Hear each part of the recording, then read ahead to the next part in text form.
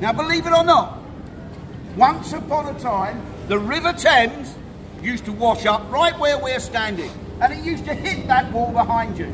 That archway there used to be the main riverside entrance into the Tower of London. Now, I don't know why William the Conqueror chose to build his royal palace under the flight path of Heathrow Airport, but he did, so occasionally it makes a noise. So the River Thames used to go right back there. That is until the reign of Edward I. Well, when he became the King of England, he was quite a clever man. He was renowned for being a builder. He changed the course of the River Thames. He pushed it back some 50 metres behind me, thereby creating a great space.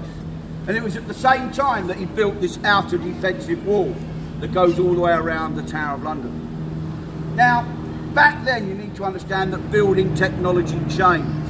He moved out of the drafty White Tower into a new medieval palace that he just, well, just had to build it for himself at the same time. So if you go up these steps here on my left, that will take you through the Great Hall. Eventually, you'll come through to the King's bedroom. Now, all the furniture and bits and pieces you see in that room are original, and they date back to the period. Eventually, you're going to go over this small causeway into the upper part of the Wakefield Tower. It's in there where you'll find the old throne room. That is where royalty used to do its business. Inside there also is a very small private chapel. It's where the kings and queens of England went for private worship each morning and each evening.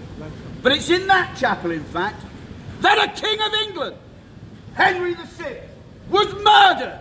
That man was stabbed in the back 14 times whilst praying in May 1471.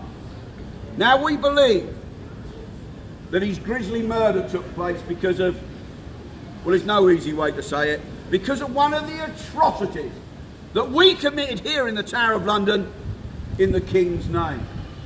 Now, unfortunately, in England, we have had a couple of civil wars. One of them was known as the War of the Roses. Now, it was during that conflict that a very famous battle took place outside of a town called Wakefield. When that battle was over, 191 prisoners were taken. We brought them here to the Tower of London. We crammed them into the basement of that tower behind you. We locked the door and we left them to die in appalling conditions.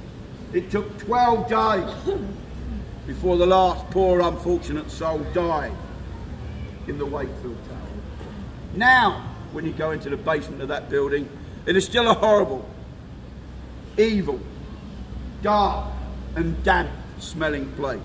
It's in there that you will find instruments of torture like the rack.